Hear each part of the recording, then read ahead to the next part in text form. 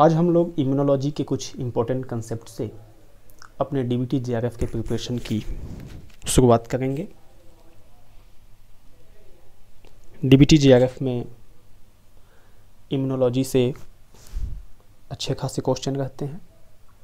इसके questions part A और part B दोनों में मिल जाएँगे आपको। इसीलिए इम्यूनोलॉजी को पढ़ना और भी ज़रूरी हो जाता है। D B T J R F के रिगार्डिंग इम्यूनोलॉजी को जानने से पहले हम जानेंगे कि इम्यूनोलॉजी में आखिर हम पढ़ते क्या हैं। तो इम्यूनोलॉजी ये जैसा कि टर्म ही इंडिकेट कर रहा है कि ये इम्यूनिटी से संबंधित है। इम्यूनिटी मतलब हमारा बॉडी कैसे पैथोजन से इंटरेक्ट करता है कैसे एंटीजन को एलिमिनेट करता है, इन सब चीज़ों को हम देखेंगे। कैसे किसी खास डिज़ीज़ में बॉडी का रिस्पॉन्स होता है, इन सब चीज़ों को भी हम लोग देखेंगे। कब हमारा body proper immune response show नहीं कर पाता, उस तरह के कॉम्प्लिकेशन जैसे कि ऑटो इम्यून डिज़ीज़ में क्या होते हैं, इन सबको हम अच्छे से डिटेल में कवर करेंगे। तो आइए देखते हैं इनेट इम्यूनिटी इनेट इम्यूनिटी का मतलब है natural immunity immunity by birth. ये बाय बर्थ इम्यूनिटी है। इसमें बहुत सारी चीज़ें हैं, बहुत सारे बैरियर हैं, जो एंटीजन को एंट्री करने से रोकते हैं और इस तरह से वो जन्म से ही जो है इम्यूनिटी हमें मिला होता है, ताकि हम पैथोजेंस एंटीजेंस का सामना कर सकें और डिज़ीज़ होने से अपने आप को बचा सकें। ये बाई बर्थ इम्यूनिटी है। इसीलिए इसको नेचुरल इम्यूनिटी भी कहते हैं या इन्नेट इम्यूनिटी कहते हैं। कुछ इम्यूनिटी ऐसा होता है जो बर्थ होने के बाद डेवलप होता है बॉडी में, उसे हम लोग एडेप्टिव इम्यूनिटी कहते हैं या एक्वायर्ड इम्यूनिटी कहते हैं। तो acquired immunity after birth develop होता है और एडेप्टिव इम्यूनिटी बिफोर बर्थ या हम कहें कि सिंस बर्थ बर्थ से ही डेवलप होता है। अलग अलग सेल्स इन्वॉल्व होते हैं दोनों तरह की इम्यूनिटी में। इन्नेट इम्यूनिटी में अलग सेल्स इन्वॉल्व होते हैं। अलग तरह के इसमें रोल हैं। एडेप्टिव इम्यूनिटी अलग तरीके से रोल प्ले करता है। तो हम एक एक को बारीकी से देखेंगे। आइए देखते हैं।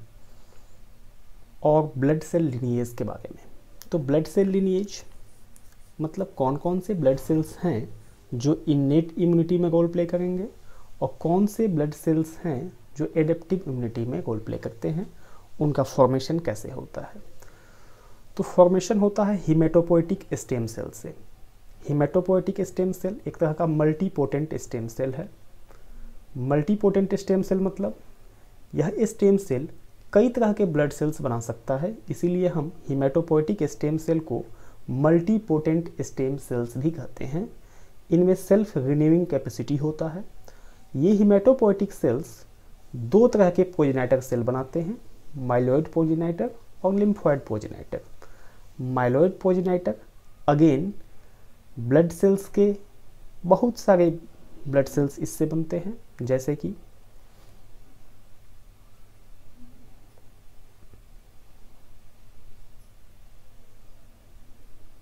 माइलॉइड पोजेनेटर से रेड ब्लड सेल्स और वाइट ब्लड सेल्स के बहुत सारे सेल्स फॉर्म होते हैं। जैसे कि मोनोसाइट्स, न्यूट्रोफिल ईओसिनोफिल बैसोफिल, इन सबको बनाने के लिए पोजेनाइटर सेल है। जैसे कि बैसोफिल को बनाने के लिए बैसोफिल पोजेनाइटर ईओसिनोफिल को बनाने के लिए ईओसिनोफिल पोजेनाइटर है। ग्रेनुलोसाइट, मोनोसाइट पोजेनाइटर, ये बनाता है न्यूट्रोफिल। और मोनोसाइट्स मोनोसाइट्स जब ब्लड सेल से माइग्रेट कर जाते हैं टिशू में तो इनका नाम बदल के हो जाता है मैक्रोफाज। यानी कि मोनोसाइट और मैक्रोफाज में बस अंतर इतना ही है कि मोनोसाइट्स जब फ्रीली फ्लो करते हैं ब्लड्स में तो उनको हम मोनोसाइट के नाम से जानते हैं। और जब यह मोनोसाइट माइग्रेट कर जाता है तो इसका नाम बदल के हो जाता है macrophage. migrates into tissues to become macrophages ये एक तरह का एंटीजन प्रेजेंटिंग सेल्स भी है। इसके बारे में और डिटेल्स हम लोग देखेंगे। Myeloid progenitor cells dendritic cells भी फॉर्म करते हैं। फिर हम लोग देखेंगे कि ये जो डेंड्राइटिक सेल्स है, ये lymphoid progenitor along with myeloid progenitor दोनों ही तरह के प्रोजेनेटर सेल्स जो हैं डेंड्राइटिक सेल्स फॉर्म कर सकते हैं। तो ये दोनों में कॉमन चीज़ है। जैसे कि डेंड्राइटिक सेल्स दोनों बना रहे हैं माइलॉइड प्रोजेनेटर वाले सेल्स भी और लिम्फॉइड प्रोजेनेटर्स वाले सेल्स भी। इसके अलावा lymphoid progenitor cells natural killer cells बनाते हैं, जो कि इनेट इम्यूनिटी में बहुत अच्छा रोल प्ले करते हैं। इसके अलावा ये lymphoid progenitor cells adaptive immunity के लिए भी कुछ सेल्स फॉर्म करते हैं। जैसे कि T cell progenitor B cell progenitor T cell progenitor again differentiate होता है दो फॉर्म्स में हेल्पर टी सेल्स और cytotoxic T cells B cell progenitor इससे बी सेल बनेगा। और ये अगेन डिफ्रेंशिएट होके एंटीबॉडी बनाएगा।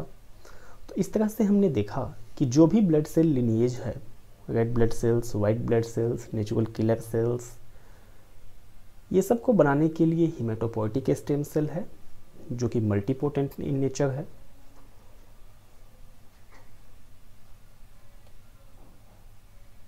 और ये ब्लड सेल्स जो है, अधिकतर blood cells most of the blood cells fight करते हैं इन्फेक्शंस के अगेंस्ट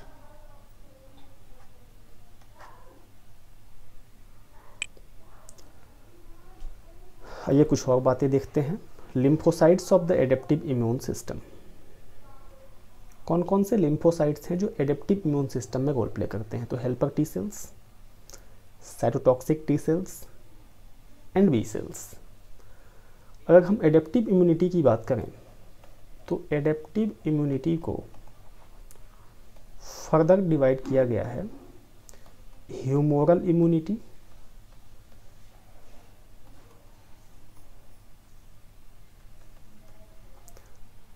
और cell mediated immunity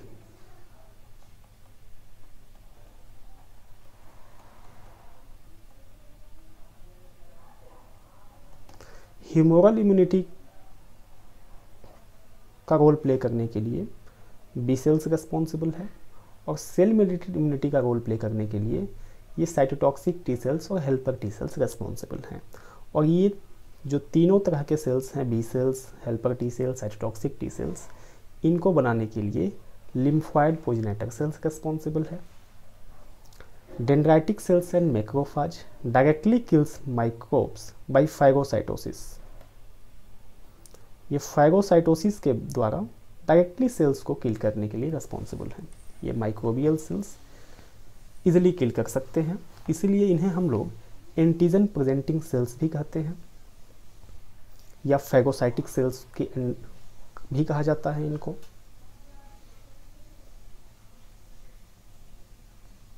They also help to activate T cells dendritic cells और मैक्रोफाज ये टी सेल्स को भी एक्टिवेट करते हैं। यानी कि ये जो इनेट इम्यूनिटी के सेल्स हैं, ये एडेप्टिव इम्यूनिटी को एक्टिवेट करने के लिए भी रिस्पॉन्सिबल हैं। इस तरह से हम कह सकते हैं, ये डेंड्राइटिक सेल्स और मैक्रोफाज एक तरह का कनेक्टिंग लिंक है between innate and adaptive immunity NK cells यानी कि एनके सेल्स का मतलब होता है नेचुरल किलर सेल्स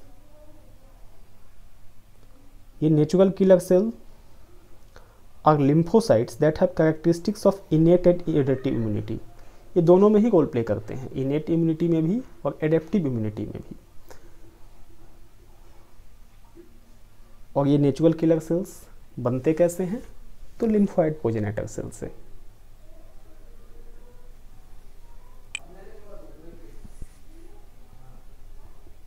इस तरह से हमने देखा कि जो लिम्फॉइड ऑर्गन है लिम्फॉइड ऑर्गन्स में कौन कौन से आते हैं? Bone marrow thymus spleen lymph nodes mucosa associated lymphoid tissues ये सब आते हैं लिम्फॉइड ऑर्गन्स में। लिम्फॉइड ऑर्गन्स को यदि हम लोग देखें तो दो तरह के लिम्फॉइड ऑर्गन्स हैं। प्राइमरी लिम्फॉइड ऑर्गन और secondary lymphoid organs primary lymphoid organ में आता है bone marrow this is the primary lymphoid organ as well as thymus thymus भी प्राइमरी लिम्फॉइड ऑर्गन में ही आता है. दिस इज़ थाइमस ये है थाइमस थाइमस भी प्राइमरी लिम्फॉइड ऑर्गन है. सेकेंडरी लिम्फॉइड ऑर्गन में आ जाएगा जितने भी लिम्फ नोड्स हैं स्प्लिन हैं, ये सब आते हैं सेकेंडरी लिम्फॉइड ऑर्गन्स में. यानी हमने देखा कि प्राइमरी लिम्फॉइड ऑर्गन जिसमें इंक्लूडेड है बोन मैरो और थाइमस तो जो भी इम्यून सेल्स हैं, अपना अधिकतर समय लिम्फॉइड ऑर्गन्स में ही स्पेंड करते हैं। हम लोग देखेंगे कि जो इम्यून सेल्स हैं, जैसे कि B cells cytotoxic T cells helper T cells ये किस प्राइमरी लिम्फॉइड ऑर्गन में बनते हैं और कैसे मैच्योर होते हैं, वो एक्शन कहाँ पे करते हैं, इन सबको भी हम डिटेल में देखेंगे। तो बी सेल्स जो होते हैं, उनका सिंथेसिस होता है बोन मैरो में और ये मैच्योर भी होते हैं बोन मैरो में ही।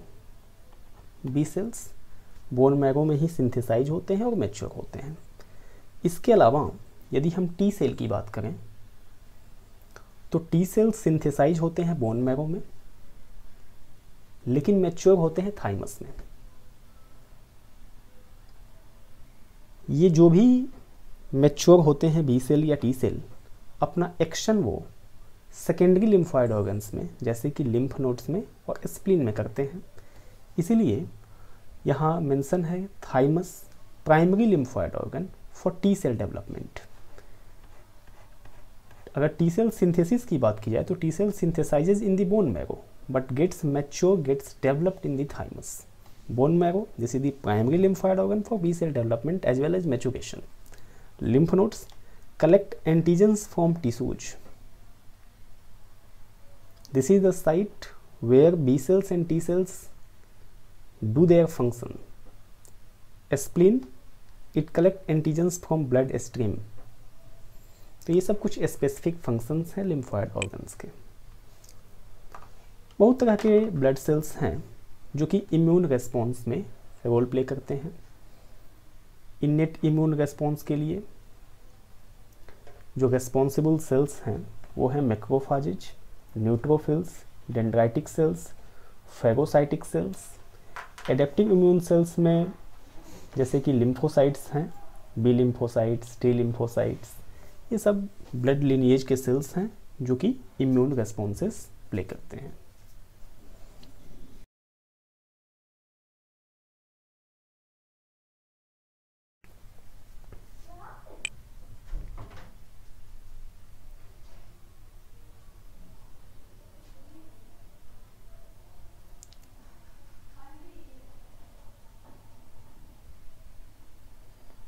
जैसा कि हमने देखा था कि अगर इम्यून सिस्टम की बात करें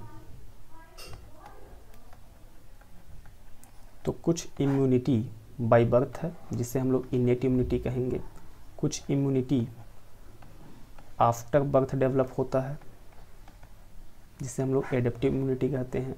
एडेप्टिव को भी फर्दर हमने डिवाइड कर दिया था ह्यूमोरल इम्यूनिटी में और सेल मेडिएटेड इम्यूनिटी में। ह्यूमोरल इम्यूनिटी के लिए जो रेस्पॉन्सिबल है, वो है बी सेल्स एंटीबॉडी और कॉम्प्लीमेंट सिस्टम सेलुलर इम्यूनिटी इसके लिए रेस्पॉन्सिबल सेल्स हैं T cells T cell receptor कैसे डेवलपमेंट होता है selection tolerance natural killer cells ये सब सेलुलर इम्यूनिटी में हम लोग देखेंगे. इम्यून रेस्पॉन्सेस में inflammation allergy autoimmunity infections इन सब का रोल है. तो हम लोग अलग अलग इम्यून रेस्पॉन्सेस कैसे इन्फ्लामेशन होता है एलर्जिक रेस्पॉन्सेस ऑटो इम्यूनिटी जैसे कि अगर इम्यून सिस्टम वीकेंड हो जाए, अच्छे से काम नहीं करे इम्यून सेल्स रेस्पॉन्ड न करें, या इम्यून सेल्स डिफिशियंट हो जाए, या इम्यून सेल्स ओवर एक्सप्रेसिव हो जाए तो क्या रेस्पॉन्सेस होते हैं? इन सबको हम देखेंगे।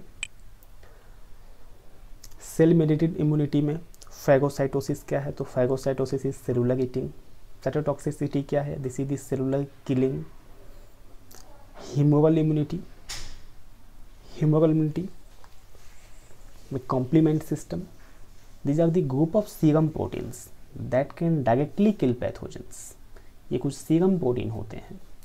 Antibodies also known by the name of immunoglobulin indicated by I G antibodies are the proteins secreted by B cells that bind directly and specifically to pathogens. ये स्पेसिफिक होते हैं। जितने भी ये एडेप्टिव इम्यूनिटी हैं एडेप्टिव इम्यूनिटी के जो sales होते हैं, वो स्पेसिफिक होते हैं। स्पेसिफिक होते हैं। और इन्नेट इम्यूनिटी के जो सेल्स होते हैं, वो नॉन स्पेसिफिक होते हैं। ठीक है? Antibodies target pathogens by marking them for destruction by other components of the immune system यानी कि एंटीबॉडी फैगोसाइटोसिस में भी हेल्प करवाते हैं, जो फैगोसाइटिक सेल्स हैं तो इजी फैगोसाइटोसिस हो जाता है जब एंटीबॉडी टारगेट पैथोजेंस को मार्क कर दे। कंपेरिजन यदि देखा जाए इनेट इम्यूनिटी और एडेप्टिव इम्यूनिटी का तो रेस्पॉन्स टाइम क्या है? आवर्स में है। एडेप्टिव क्या है? डेज़ में है।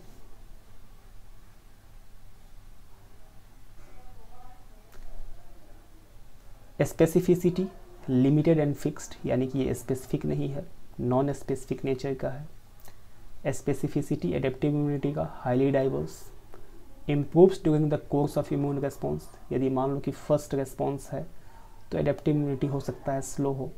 लेकिन सेकेंड एक्सपोजर हुआ है एंटीजन का तो रैपिड रेस्पॉन्स होगा। तो improve during the course of immune response ये लगातार इम्प्रूव होते रहता है adaptive immunity response to repeated infection identical to primary response ये फिक्स्ड रहता है क्योंकि इसके जो फ़िज़िकल या एनाटोमिकल बैरियर्स हैं, वो चेंज नहीं होते हैं रिपीटेड इन्फेक्शन में। इसलिए इनका जो है रिपीटेड इन्फेक्शन में भी रेस्पॉन्स सेम ही रहता है। Much more rapid than primary response तो ये कुछ डिफरेंसेस हो गए इनेट इम्यूनिटी और एडेप्टिव इम्यूनिटी के। Innate immunity is found in all multi multicellular organism adaptive immunity is found in vertebrates only. Innate immunity is triggered by a limited number of pathogen associated molecular patterns and adaptive immunity is triggered by any components of pathogens ये भी खास बात है receptors innate immunity a limited number of pattern recognition receptors expressed on many cell types and adaptive immune receptors are highly variable either antibody made by B cells and T cell receptor made by T cells इस तरह के receptor होते हैं यानी कि बहुत ही differences हैं इनेट और एडेप्टिव इम्यूनिटी में और दोनों ही ये इनेट और एडेप्टिव इम्यूनिटी साथ मिल करके एंटीजन को इलिमिनेट करते हैं बॉडी से और इम्यून रेस्पॉन्सेस प्ले करते हैं। हम देखेंगे कि इनेट इम्यूनिटी में जो बैरियर्स हैं, जो सिंस वर्थ अवेलेबल हैं, वो कैसे रोल प्ले करते हैं। जैसे कि एनाटॉमिक बैरियर यदि देखें स्किन तो it's a mechanical barrier retard entry of microbes skin mix environment acidic. Mucus membrane जो भी है, normal flora compete with micro for attachment sites and nutrients. Mucus entraps foreign microorganisms cilia propel microorganism out of body. यानी हमने देखा कि anatomic barrier में जो skin और म्यूकस मेम्ब्रेन है, ये एंटीजेंस को इंट्री करने में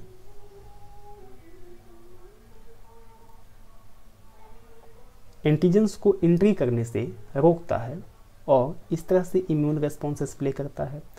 इन्नेट इम्यूनिटी में अगला है फिजियोलॉजिकल बैरियर्स इसमें temperature low pH chemical mediators इन सब के द्वारा इन्नेट इम्यून रेस्पॉन्सेस माइक्रोब्स के एंट्री को रिटार्ट करता है। जैसे कि केमिकल मेडिएटर्स में लाइसोजाइम है, जो कि बैक्टीरियल सेल वाल को ही डिग्रेड कर देता है।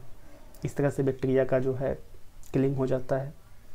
इंटरफेरॉन, ये इंड्यूस करता है antiviral state in infected cells यदि कोई सेल्स है, अगर वायरस से इन्फेक्ट हो गया तो ये virus infected cells interferon release करेगा, जो कि नियर बाई सेल्स में, जो इसके आसपास के सेल्स होंगे, वहाँ एंटीवायरल स्टेट इंड्यूस करता है। तो इस तरह से बगल के सेल्स प्रोटेक्टेड हो जाते हैं। कॉम्प्लीमेंट लाइजेज माइक्रो ऑर्गेनिजम्स और facilitate phagocytosis complement systems phagocytosis के लिए रिस्पॉन्सिबल है। Toll like receptors recognises microbial molecules signal cell to secrete immunostimulatory cytokines chemical mediators में और कलेक्टिन्स है, जो कि सेल वाल ऑफ़ पैथोजेंस को डिग्रेड करते हैं डिसरप्ट करते हैं। फैगोसाइटिक या एंडोसाइटिक बैरियर्स हैं बहुत सारे सेल्स हैं जो इंटरनलाइज कर जाते हैं फैगोसाइटोज कर जाते हैं मैक्रोमोलिकुल्स को। जैसे कि monocytes neutrophils macrophages inflammatory barriers है tissue damage and function induce leakage of vascular fluid serum proteins with antibacterial activity and influx of phagocytic cells जो भी फैगोसाइटिक सेल्स हमने देखा मोनोसाइट्स न्यूट्रोफिल्स टिश्यू मैक्रोफाज ये उस इन्फ्लेम्ड साइट पे पहुँचते हैं और अफेक्टेड एरिया में जो भी माइक्रोब्स हैं, उनको फैगोसाइटोज करते हैं, उनको किल करते हैं। तो इस तरह से हमने देखा कि anatomic barrier physiologic barrier physiological barriers chemical mediators कैसे एंटीजेंस को इलिमिनेट करने में हेल्प करते हैं एंटीजेंस के एंट्री को रिटार्ड करते हैं और बॉडी के इम्यून सिस्टम में रोल प्ले करते हैं।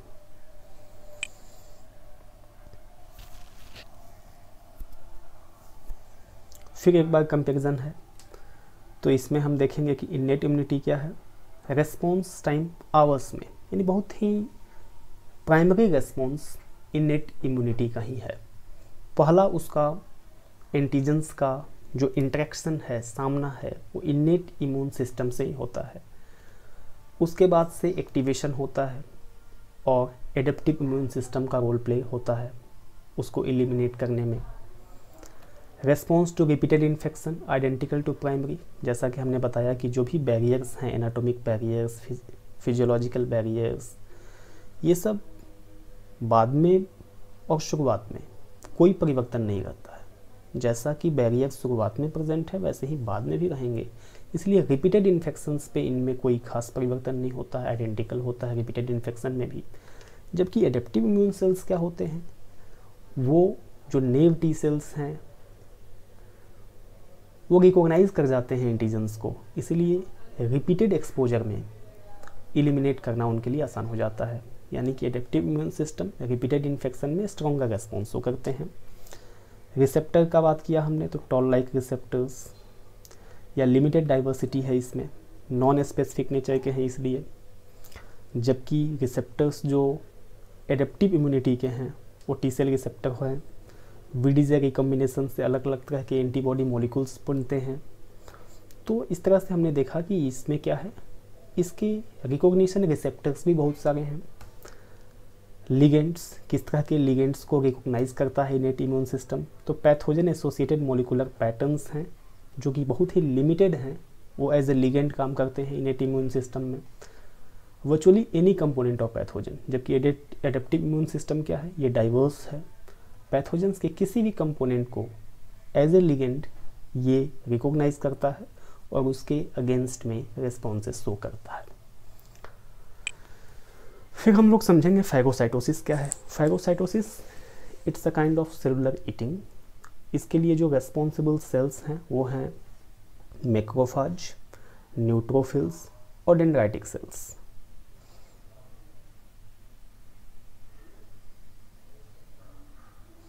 हमने देखा था कि मैक्रोफाज मैक्रोफाज किसे कहते हैं? तो मोनोसाइट्स को ही कहते हैं। जब मोनोसाइट्स माइग्रेट हो जाते हैं टिश्यू में तो उसका नाम बदल के मेक्रोफाज हो जाता है। मेक्रोफाज और न्यूट्रोफिल्स बनते कैसे हैं? तो ये बनते हैं माइलोइड पोजेनेटर सेल से। टेंडाइटिक सेल्स क्या है? तो ये दोनों तरह के पोजेनेटर सेल्स है। इधर माइलोइड पोजेनेटर सेल और लिम्फॉइड पोजेनेटर सेल्स। दोनों तरह के पोजेनेटर सेल्स टेंड्राइटिक सेल्स बनाते हैं। और ये जो तीनों तरह के सेल्स हैं मेक्रोफाज न्यूट्रोफिल्स और टेंड्राइटिक सेल्स ये मेक्रोमोलिकुल्स को फैगोसाइटोज करने में काम आते हैं और ये सेलुलर ईटिंग के लिए रिस्पॉन्सिबल हैं। कैसे करता है ये? तो bacterium attaches to membrane bacterium is ingested forming phagosome phagosome fuses with lysosome lysosome enzymes digest the bacteria and digested material is released from the cell. जैसे अगर कोई फेगोसाइटिक सेल्स है तो सपोज़ करें दिस इज़ दी मैक्रोफाज जो बड़ा structure है वो मैक्रोफाज है। तो बैक्टीरियम का सेल यदि मैक्रोफाज से अटैच हुआ तो मैक्रोफाज इसे इंगल्फ कर लेगा। पहला काम हो गया। अटैचमेंट उसके बाद से इनगल्फिंग इनगल्फ होने के बाद से ये जो वेस्कुलर स्ट्रक्चर बना this is the phagosome this phagosome fusion with lysosome and forms phagolysosome क्या बना? फैगोलाइसोसोम बन गया। जब ये फैगोलाइसोसोम बना तो लाइसोसोम में जो भी एसिड हाइड्रोलेजेस नाम के एंजाइम होंगे, वो इस बैक्टीरिया को डाइजेस्ट करेंगे और डाइजेशन के बाद सेल से रिलीज़ हो जाएगा।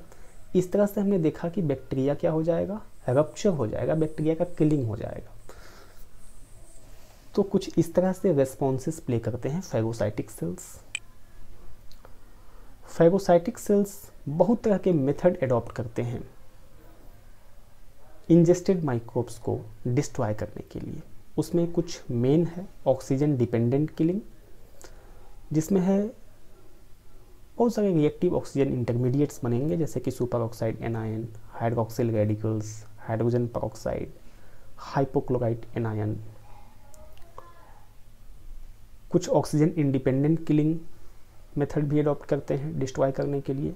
उसमें रोल प्ले होता है डिफेंसिन का टीएनएफ का ट्यूबर निकोसिस फैक्टर का लाइसोजाइम का हाइड्रोलाइटिक एंजाइम्स का, कुछ रिएक्टिव नाइट्रोजन इंटरमीडिएट्स के हेल्प से डिस्ट्रॉय करते हैं माइक्रोब्स को। को nitric acid nitrogen dioxide nitrous acid के हेल्प से होता है। अदर्स में आ जाएँगे मोनोक्लोरामीन एन तो ये सब अलग अलग तरह के मेथड्स हैं। जो कि फैगोसाइटिक सेल्स द्वारा एडॉप्ट किए जाते हैं माइक्रोब्स को किल करने के लिए।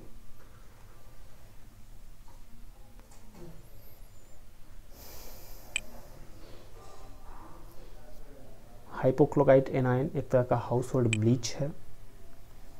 फैगोसाइटोसिस डिस्कवर किसने किया था? तो इलिया मैकनिकॉव ने 1882 में।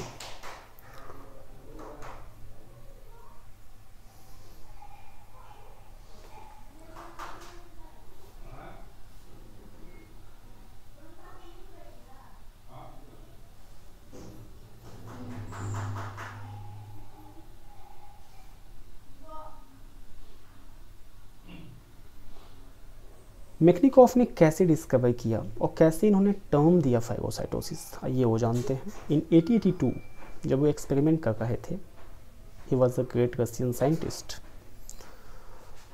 working on Messina working in Messina Italy studying the larvae of the sea star.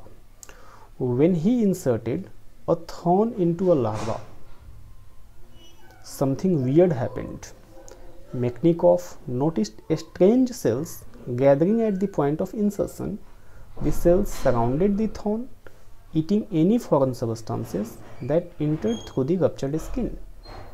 Mechnikov was thrilled. He decided to name these new cells phagocytes from the Greek word meaning devouring cells. यानी कि इस experiment में जब उन्होंने thorn inter कराया larva में तो देखा कि इंट्री साइड्स पे बहुत तरह के सेल्स क्या कर रहे हैं? फॉरेन सबस्टांस जो इंटर किया रप्चर्ड स्किन से, वहाँ पे कलेक्ट हो गए और सेलुलर ईटिंग का रोल प्ले करने लगे। तो उन्होंने डिसाइड किया कि इस तरह के सेल्स को फैगोसाइट्स कहा जाए और फैगोसाइट्स का ग्रीक में मीनिंग होता है डिवोगिंग सेल्स तो इस तरह से मैकनिकॉफ ने 1882 में फैगोसाइट्स नाम दिया था और इस प्रोसेस को फेगोसाइटोसिस कहा था।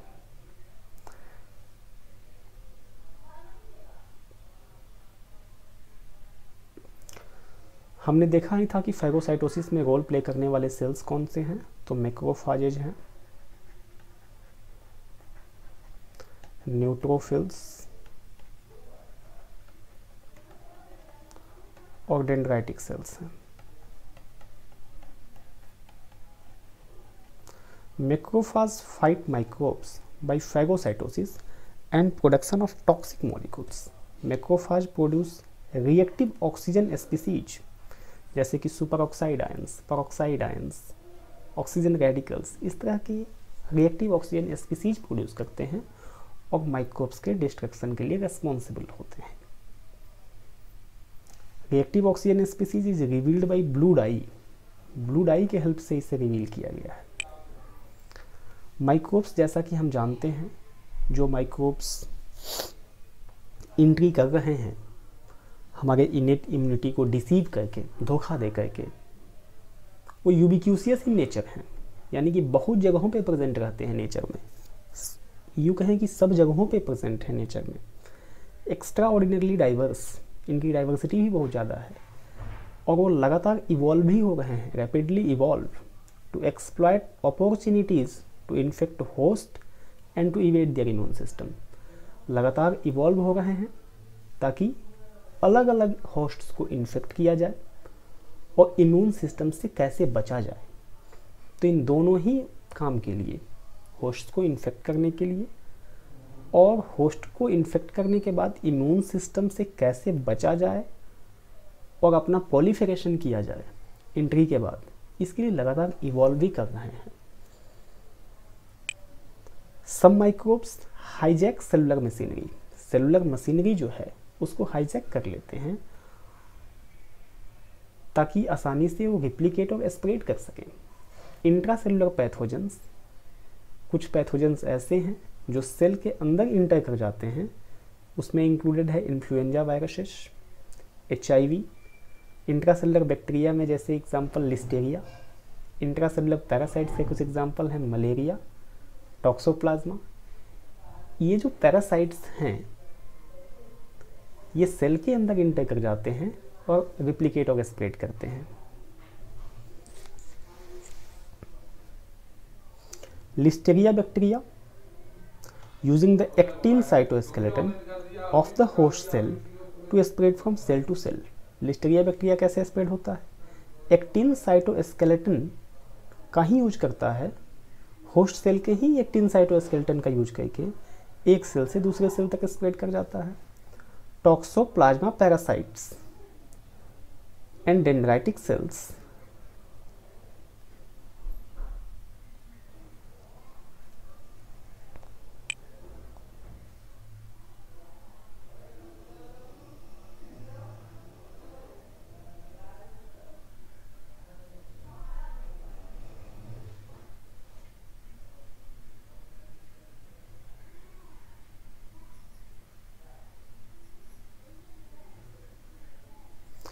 अब ये जो भी इम्यून सिस्टम के सेल्स हैं, जैसे कि B cells helper T cells cytotoxic T cells ये जो सेल्स हैं इम्यून सेल्स सर्कुलेट करते हैं बॉडी में via lymph and blood pathogens and their antigens are transported from tissue via lymphatic vessels to the lymph nodes lymph node हमने देखा ही था। Where they encounter immune cells और इस तरह से लिम्फ नोड्स में जाने के बाद से वो इम्यून सेल्स से उन माइक्रोब्स का इनकाउंटर होता है और वो इलिमिनेट किए जाते हैं। तो जो भी एंटीजेंस हैं, वो साइट ऑफ़ इन्फेक्शन से लिम्फ नोड में कैसे पहुँचते हैं तो via lymphatic vessels nave lymphocytes. Nave lymphocytes means those lymphocytes which do not have encountered antigens yet. अभी उनका एंटीजन से सामना ही नहीं हुआ है। इसलिए उन्हें नेव लिम्फोसाइट्स कहते हैं। जब वो लिम्फोसाइट्स एंटीजेंस को इनकाउंटर कर लेंगे तो फिर वो मैच्योर लिम्फोसाइट्स कहलाने लगेंगे। और इस तरह से नेव लिम्फोसाइट्स जो हैं, वो लिम्फ नोड्स में एंटीजेंस को एंटीजेंस को इनकाउंटर करते हैं और उनको बॉडी से इलिमिनेट करते हैं। Macrophage fight microbes by engulfing and digesting them ये हमने पहले भी देखा है कि मैक्रोफाज क्या करते हैं? इनगल्फ करते हैं और फिर डाइजेस्ट करते हैं। डाइजेस्ट कैसे करते हैं? तो लाइसोसोम में जो एसिड हाइड्रोलेजेज इंजाइम है वो एसिड हाइड्रोलेज इंजाइम की मदद से बैक्टीरिया को डाइजेस्ट करते हैं।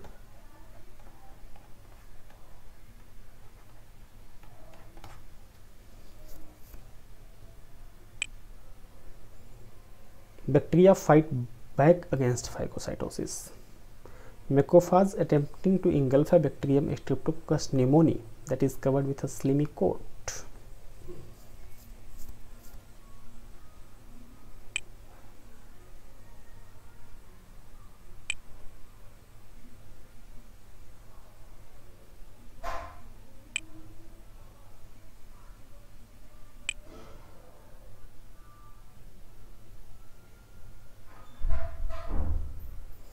innate immune system का एक जो मेजर रेस्पॉन्स है, वो है इन्फ्लामेटरी रेस्पॉन्स यानी कि इन्फ्लामेशन इन्फ्लामेशन मतलब क्या है?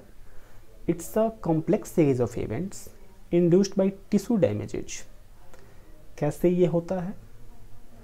जैसे कि इन्फ्लामेटरी साइट पे रेडनेस हो जाएगा पेन होगा स्वेलिंग हीट और इस टोटल इन्फ्लामेटरी रेस्पॉन्स में जो फ़र्स्ट वाइट ब्लड सेल्स है, जो इस इन्फ्लामेशन साइट पे रीच होता है, पहुँचता है, वो है न्यूट्रोफिल यानी कि न्यूट्रोफिल वहाँ पहुँच करके ये सब रेस्पॉन्सेस कॉज करेगा रेडनेस पेन स्वेलिंग हीट ताकि वहाँ पे दूसरे इम्यून सेल्स पहुँचे और उस साइट के प्रॉब्लम को इलिमिनेट करें. तो ये इन्नेट इम्यून सिस्टम का बहुत ही बेहतरीन रेस्पॉन्स है. आइए देखते हैं कैसे होता है ये। जैसे कि हमने देखा कि डैमेज साइट अगर ये साइट यहाँ पे डैमेज हो गया तो डैमेज होने के बाद से फेगोसाइटिक सेल्स वहाँ पे पहुँचने लगेंगे। Inflammation occurs when injured tissue release mediators that promote vasodilation vasodilation होगा, यानी कि इंक्रीज ब्लड फ्लो होगा। अब यहाँ पे बहुत सारे ब्लड्स पहुँचने लगेंगे। ब्लड फ्लो यहाँ पे बढ़ जाएगा। कीमोटैक्सिस ऑफ़ ल्यूकोसाइट्स कुछ ल्यूकोसाइट्स कुछ वाइट ब्लड सेल्स भी वहाँ पे पहुँचेंगे। Infection infection can induce inflammation but even sterile injuries can be sufficient to induce inflammation कई बार इन्फेक्शन की वजह से इन्फ्लामेशन होता है, लेकिन स्टेराइल इंजुरीज ऐसे इंजुरीज जिसमें माइक्रोब्स इंटर नहीं किए हैं उससे भी इन्फ्लेमेशन इंड्यूस हो सकता है।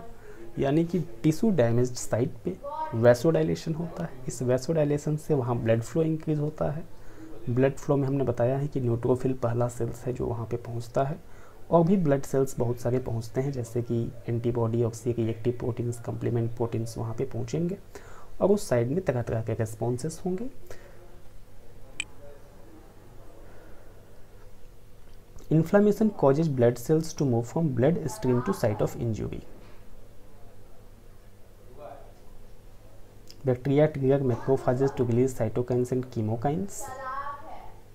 Vasodilation and increased vascular permeability causes redness, heat and swelling.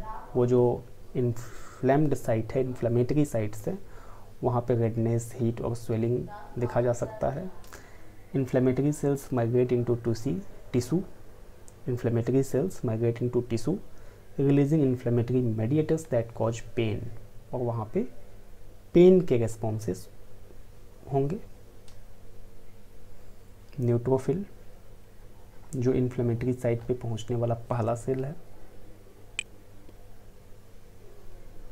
Blood cells या ल्यूकोसाइट्स ल्यूकोसाइट्स जिसे हम लोग कहते हैं white blood cells travel from the blood stream into tissue by a process known as extravasation यानी एक्स्ट्रा एक्स्ट्रावेसेशन में हमने क्या देखा? कि जो वाइट ब्लड सेल्स है, जिसका कि मेजर रोल होता है इम्यून रेस्पॉन्सेस में soldiers of the immune system भी इसे कहते हैं।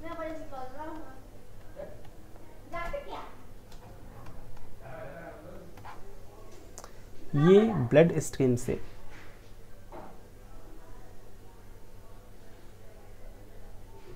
टिश्यू तक पहुँचते हैं और इस प्रोसेस को हम लोग एक्स्ट्रा एक्स्ट्रावेसेशन के नाम से जानते हैं।